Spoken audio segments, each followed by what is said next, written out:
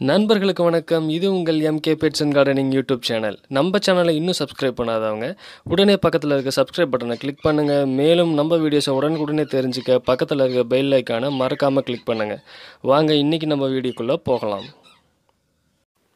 இன்றைக்கி நம்ம வீடியோவில் வல்லாரைக்கீரை எப்படி வளர்க்குறதுன்னு தாங்க பார்க்க போகிறோம் ஏற்கனவே நம்ம சேனலில் நிலக்கடலை தர்பூசணி முலாம்பழம் இப்படி பல செடிகளை எப்படி விதையிலேருந்து வளர்க்குறதுங்கிற வீடியோக்கள் கொடுத்துருக்கோம். அந்த வீடியோவோட லிங்க்கு கீழே டிஸ்கிரிப்ஷனில் இருக்குது மறக்காமல் அந்த வீடியோக்களையும் பாருங்கள் வல்லாரைக்கீரைன்னு சொன்னாலே நம்மளுக்கு ஞாபக சக்தி தாங்க ஞாபகம் வரும்.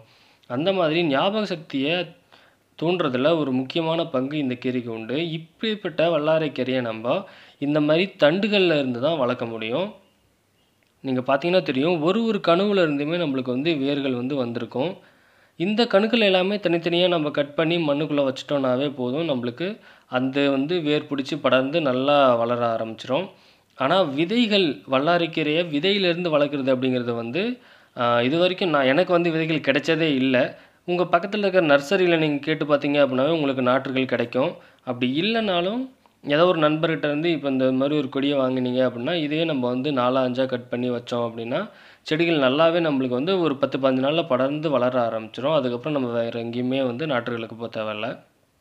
பாருங்கள் வல்லாரை இலையில் இப்படி தான் இருக்கும். நம்ம இப்போ என்ன பண்ணியிருக்கோம் அப்படின்னா ஒரு ஒரு கணுவையும் இந்த மாதிரி தனித்தனியாக கட் பண்ணி வச்சுருக்கோம். பாருங்கள் இந்த கணுவுலையுமே உங்களுக்கு வந்து வேர் நல்லாவே தெரிய ஆரம்பிச்சிருக்கும். இப்போது இந்த கணுப்பகுதியை வந்து நம்ம மண்ணில் புதைச்சிட்டோம் அப்படின்னா இதிலேருந்து வர வேர் வந்து செடியை இந்த செடியை வந்து கொடி மாதிரி படரும். இது ஒரு கொடி வகை தாவரம் தான் நீங்கள் தரையில் வைக்கிறீங்க அப்படின்னா என்னாகும்? இதிலேருந்து கொடி மாதிரி வந்து படர்ந்து அந்த கொடி போகிற ஒரு ஒரு கனவுலேருந்துமே வேர்கள் உருவாகி அதிலிருந்து இலைகள் வந்து நம்மளுக்கு கீரையை வந்து நல்லா படர்ந்து வரும். பாருங்கள் இந்த மாதிரி அந்த ஒரு தண்டை வந்து நான் இத்தனை துண்டுகளாக கட் பண்ணியிருக்கேன். நான் வந்து செம்மண் கலந்த ஒரு க்ரோ பேக்கில் தான் இதை வைக்கிறேன். ஆனால் இந்த வல்லாரைக்கீரை வளர்க்குறதுக்கு க்ரோ பேக் அப்படிங்கிறது தேவைப்படுமா அப்படின்னா கண்டிப்பாக தேவைப்படாதுன்னு தான் சொல்லணும். ஏன்னா அரை அடி ஆழம் இருக்கிற ஒரு அகலமான ஒரு ட்ரேயில் நம்ம வைக்கிறோம் அப்படின்னா என்னாகும் அப்படின்னா செடிகள் வந்து நல்லாவே படர்ந்து நம்மளுக்கு நிறைய கீரை கிடைக்கும். காய்கறி தாவரங்கள் மாதிரி இது வந்து ரொம்ப ஆழமான க்ரோ பேக் இருக்கணும். வேர் வந்து ஆழமாக போகுன்ற பிரச்சனை இதில் இல்லை. நான் வந்து இப்போ உங்களுக்கு வளர்த்து காட்டணுங்கிறதுக்காக நான் இப்போ க்ரோ பேக்கில் வச்சுருக்கேன். இந்த மாதிரி நம்ம கட் பண்ண துண்டுகளை எடுத்து மண்ணில் விதைச்சிட்டு நம்ம தண்ணி ஊற்றி வந்தோம்னாவே ஒரு பத்து பதினஞ்சு நாளே நம்மளுக்கு வந்து அறுவடைக்கு வந்துற அளவுக்கு ரொம்ப வேகமாகவே இந்த செடி வளரும். இந்த வல்லாரைக்கீரை இருக்கு இல்லையா? இதை வந்து குழந்தைகளுக்கு சின்ன வயசுலேருந்தே நம்ம கொடுத்துட்டு வந்தோம் அப்படின்னா அவங்களோட ஞாபக சக்தி ரொம்பவே மேம்படுங்க. அது மட்டும் இல்லாமல் அவங்களுடைய மூளையில் இருக்க நியூரான்கள் மூளை செல்கள் இருக்கு இல்லையா? அந்த நியூரான்கள் வந்து புத்துணர்ச்சி அடையும். அது மட்டும் இல்லாமல் வல்லாரைக்கீரை சாப்பிட்டு வந்தோம் அப்படின்னா மூளை சம்மந்தப்பட்ட எந்த ஒரு பிரச்சனையுமே வராமல் தடுக்கலாம். பாருங்கள் இப்போது இலைகள் இருந்த தண்டுகளை வந்து நம்ம பதியம் போட்டோம். அதே மாதிரி கணுக்கள் மட்டும் வெட்டி வச்சுருக்கோம் இல்லையா? அதுவும் நம்ம வந்து பதியம் போட்டுடுறோம் பார்த்தீங்கன்னா தெரியும். ஜஸ்ட்டு ஒரு ஆறு இன்ச்சுக்கு நம்ம குழி பறித்து அந்த தண்டுகளை அதில் வச்சு மூடிட்டோம் அப்படின்னாமே நம்ம தொடர்ந்து தண்ணி ஊற்றிட்டு வரோம் அப்படின்னா அந்த தண்டில் இருந்தே நம்மளுக்கு இலைகள் வந்து வர ஆரம்பிச்சிடும் நம்ம வேறு எதுவுமே செய்ய தேவையில்ல. அவ்வளோதான் இப்போ வல்லாரைக்கீரையை நம்ம விதைச்சி முடிச்சிட்டோம். இப்போது தண்ணி தெளிச்சிக்கணும். எப்பயும் போல் தண்ணீரை வந்து இப்போது தண்டுகள் தான் நம்ம வச்சுருக்கோம் இல்லையா? அதனால் தண்ணீர் ஊற்றணும் அப்படின்னா தண்டுகள் எல்லாமே பறிச்சுட்டு வெளியே வந்துடும் அதனால் முடிஞ்ச வரைக்கும் தண்ணியை தெளித்து வச்சிட்டோம் அப்படின்னா மண்ணுக்குள்ளே தண்டுகள் வந்து அந்தந்த இடத்துல செட்டில் ஆகிடும் அதுலேருந்து நம்மளுக்கு எந்த ஒரு பிரச்சனையும் வராது. பாருங்கள்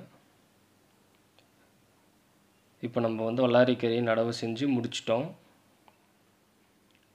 இதோட நிலைமை இப்போது இருபத்தி ஐந்தாவது நாள். இந்த க்ரோ பேக்லேயே நான் வந்து பின்னாடி இதுவும் போட்டிருந்தேன். முலாம்பழமும் உங்களுக்கு போட்டிருந்தேன். அதனால் அந்த செடியும் தெரிஞ்சிருக்க வாய்ப்பு இருக்குது இதை பார்த்தீங்கன்னா இதுதான் வல்லாரி பூ. நார்மலாக எல்லா செடி மாதிரியுமே இதுலேயும் பூ வருது. காய்களுமே வருது. ஆனால் அதிலிருந்து விதைகள் நமக்கு வந்து கிடைக்கிறதில்ல. அந்த விதைகளை பயன்படுத்தி நம்ம இந்த செடியை வந்து உருவாக்க முடியாது உங்களுக்கு இப்போ இந்த செடி இன்னொரு இடத்துக்கு நீங்கள் வேணும் அப்படின்னா இந்த செடியை வந்து கொஞ்சம் வேரோட பிடுங்கி வச்சிங்கன்னா அது ஆட்டோமேட்டிக்காக அதுவே வளர்ந்துரும் இது சரியாக நாற்பதாவது நாள் ஒரு அறுவடை வந்து நான் எடுத்துட்டேன். அதை நான் உங்களுக்கு வீடியோ எடுக்கலை அதனால தான் இலைகள் வந்து கம்மியாக இருக்குது இது வந்து ரொம்பவே அடர்த்தியாக படர்ந்து பச்சை போடுற போல் வளரக்கூடிய ஒரு தாவரம். நீங்கள் தரையில் வச்சீங்க அப்படின்னா, ரொம்பவே அழகாக இருக்கும். உங்களுக்கு கீரைக்கு கீரையும் கிடைக்கும். வல்லாரை கீரைகள்லாம் வந்து இப்போ ரொம்ப அதிகமாக கிடைக்கல கிடைக்கிறதில்ல. அப்படி கிடைச்சாலுமே கொஞ்சமாக இருக்க கம்மியாக இருக்க ஒரு பாக்கெட்டே ரூ. 10ன்ற மாரி விக்கிறாங்க. அதனால நம்பளே நம்ப தோட்டத்தில வல்லாரை கீரை மாதிரி நல்ல இது வந்து மூலிகை செடின்னே சொல்லலாம். ஞான மூலிகைன்னு கூட சொல்லுவாங்க இதை இது போன்ற தாவரங்களை நாம் நாம நம்ம வீட்டில் தோட்டத்தில் வளர்த்துக்கிறது தான் நம்மளுக்கும் நல்லது. நம்ம சந்ததியர்களுக்கும் நல்லது. இதில் நம்ம எந்த ஒரு கலப்படமும் இல்லாமல் நம்ம வந்து பெற முடியும். இந்த வீடியோ உங்கள் எல்லாருக்கும் பிடிச்சிருக்குன்னு நினைக்கிறேன். பிடிச்சிருந்தா வீடியோவை லைக் பண்ணுங்கள் உங்களோட கருத்துக்களை கமெண்ட்டில் சொல்லுங்கள் மேலும் இந்த வீடியோவை உங்கள் நண்பர்களுக்கு ஷேர் பண்ணுங்கள் நம்ம சேனலை இன்னும் சப்ஸ்கிரைப் பண்ணாதவங்க, மறக்காமல் நம்ம சேனலுக்கு சப்ஸ்கிரைப் பண்ணிக்கோங்க. நன்றி, வணக்கம்.